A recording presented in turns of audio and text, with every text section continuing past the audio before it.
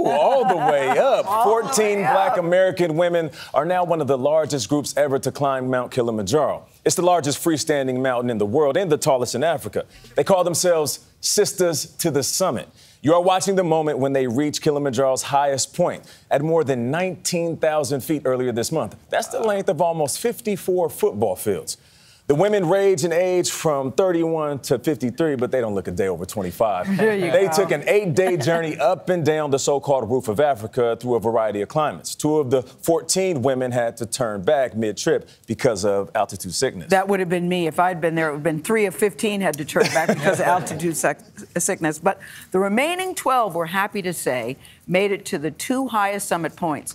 First on CBS Mornings, all 14 of these amazing women are here with us. Nate, would you do the introduction? Oh, yeah, I got you. All right, so it's Christy, Christina, Danielle, Jennifer, Lisa, LaShawn, Malak, Marianne, Naja, Naomi, Tanisha, Taylor, Janelle, and Erica. Yeah, that could almost be a song, Nate Burles. Yeah, that could almost be a song. I know. You guys noticed the DMX thing. Right, right, we, right. We all got it. But Erica, I got to start with you because we have to either thank you or blame you for this. Exactly. Because you were turning 50. Yeah. You sent out an email to all of your friends, to a lot of your friends, and you said what? I said, hey, I have an idea. I'd like to climb Mount Kilimanjaro. My dear friend Malak and I have been talking about this for five years now. Let's do it. It's uh-huh. my year of turning 50. And I had a strategy where I did not want to put any pressure on anyone because I know that climbing Mount Kilimanjaro is yes. not for the faint of heart. Yes. And 18 people responded. 18? Yes. And then you got down to 14. Yes. Well, Erica just said you all have wanted to do this for five years. Why did you want to do it? You know what? What were you thinking? We have similar travel sensibilities, and we uh-huh. both want to see the world. We're talking about Antarctica next. Yeah. Uh-huh. I mean, uh-huh. we want to see the world, and, and, and we want to discover places and take ourselves out of our comfort zone. So we've been talking about it, but I'll tell you, she told me to plan it, and I never did. and you so, never did. But when I got her email, it was like instantaneous. So Janelle, how did you all train? Mm. Because you all didn't know each other. The, the, the, the common bond here was Erica. So it's not like you all knew each other or you all live in the same neighborhood. So how did you train? Well, over the summer, a lot of the women were on Martha's Vineyard, so they started doing hikes together. Martha's Vineyard, not the same as Mount Not the same. not the same. Yeah. But for me, I couldn't travel to Martha's Vineyard, so I broke my boots in in Brooklyn, going to Trader Joe's and Target. So yeah. we all had to find our ways to train. So whether it was on the treadmill, doing small hikes in New Jersey, or going oh. in Harlem that, that was really just our training strategies. Now, LaShawn, you had to turn back because of altitude sickness. Yes. Like, how tough was that decision? And what does that feel like for people who don't know? Yeah. Well, it wasn't really up to me.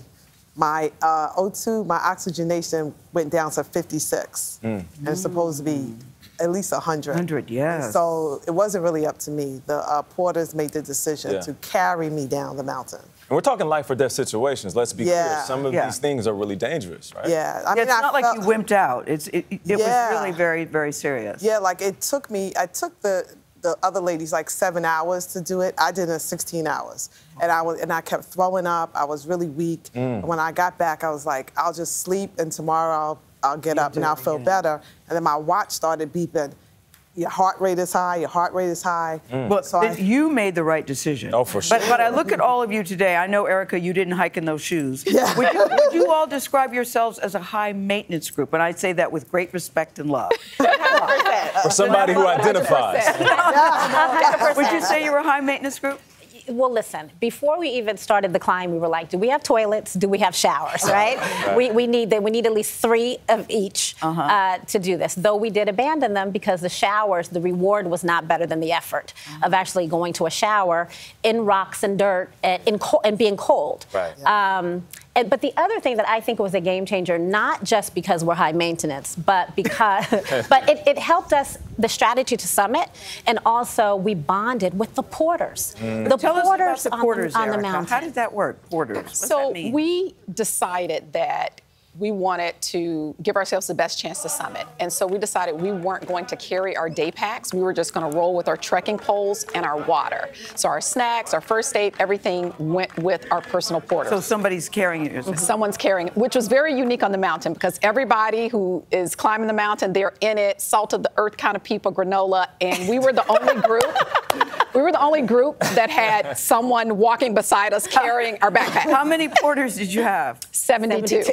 oh, wow. in the studio. You're a reporter. But we made it. We made it to the But we made it to the summit. So, so this- Wait, were they carrying the bags or carrying y'all? Sometimes both. They carried me. They carried me. 72. Oh I so- love it. So you guys made it to the top this month or last month? Two weeks ago. Two weeks ago. Is anyone still sore? Yes. Yeah, you still have the effect. Absolutely. We We, can't feel our our toes. toes. Our toes are literally numb. Wow. Wow. Yeah. so, how did bathing work, Janelle? How did that work? So we had a shower there, but it was basically looked like a porter potty with a bucket uh-huh. that they would fill with hot water. And so you would go in there. You really only had a couple of minutes to take your shower once you pulled the lever, and you had to basically take your clothes off, put it outside of a chair. And once you finished your shower, you had some fresh clothes, and you had to change in the shower because it's outside. The porters are looking at you. Other groups are looking at you. Yeah. So the bathing was something everyone was like, day three, we don't need to do this anymore. And Erica forgot her towel the first time. Yes. All we heard is her screaming, I don't have a towel. But let's do rapid fire questions because I want to get everybody involved. Uh, yay or nay? Thumbs up or down? Was the climb the most challenging thing you've ever done? Ooh. Oh, Erica says no. Okay. Did you ever want to give up at any point? yes. Yes. Did you make lifelong friendships? Ooh. Ah. Would you do it again with your spouse or significant other? Hard. All the down. No. Everybody Now, is it because of the climb or Is it because, of the significant other? I think we know the answer to that, Tony. And when you came back, LaShawn, you all had set up a thing. What, what did you do when you reached the top? What did you do when you reached the very top? We Did we you dance? We had Like- lunch and then we did a TikTok to Beyonce's Cuff It. Oh. Last yes or no, should Nate climb a mountain and get into the wide world of the outdoors? Yeah. Yeah. All right, looks like we got our next story. Thanks for setting that up, Tony. And we appreciate y'all. Thank you so much. Yes, And bravo, Good luck. bravo, ladies, bravo. Next adventure, Sistahs to the Summit. We'll be right back. Yeah, bravo.